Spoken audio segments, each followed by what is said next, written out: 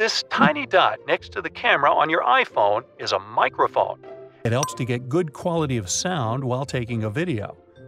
The Spotlight feature on your Mac can be used not only for a quick search of files and apps, it also works as a calculator. Just type in a mathematical problem you need to solve.